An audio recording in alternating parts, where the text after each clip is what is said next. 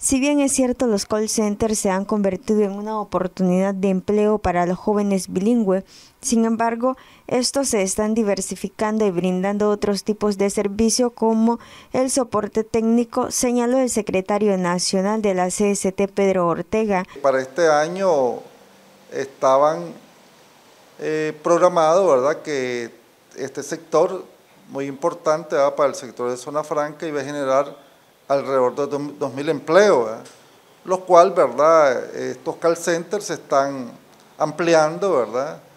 Diversificando, porque también están requiriendo, eh, están dando ya servicios como soporte técnico, o sea, no solo personas bilingües, sino que también sean ingenieros, eh, ingenieros en, en redes, ¿verdad?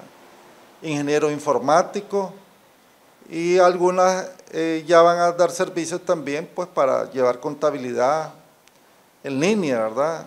Soporte técnico y también pues las famosas campañas que, que hay, ¿verdad? Y servicios pues para en otros países pues para programación de citas de hospitales, eh, Ortega indicó que el deslizamiento del dólar con respecto al Córdoba no va a afectar los salarios de dicho sector. Ellos tienen un salario dolarizado y hay una política también de, los call centers, ¿verdad?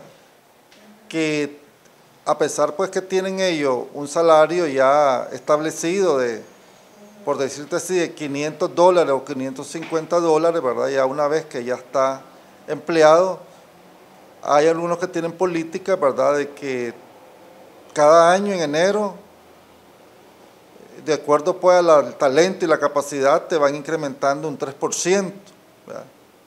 Eh, no se va a ver afectado pues porque si ya está dolarizado, van a, recibir, ¿verdad?, lo que corresponde en, eh, en moneda norteamericana, pues el dólar, entonces no va a haber ninguna afectación para este sector y sí van a continuar pues ellos teniendo las políticas eh, salariales que tienen. Actualmente el sector call center genera al menos 14 mil empleos. Noticias 12, Darlene Telles.